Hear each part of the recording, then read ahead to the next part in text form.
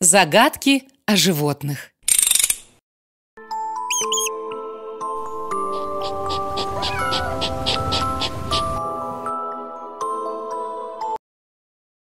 Встает на заре, поет во дворе, на голове гребешок. Это кто?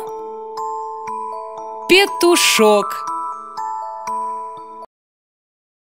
Ночью он совсем не спит, дом от мышек сторожит, молоко из миски пьет. Ну, конечно, это кот!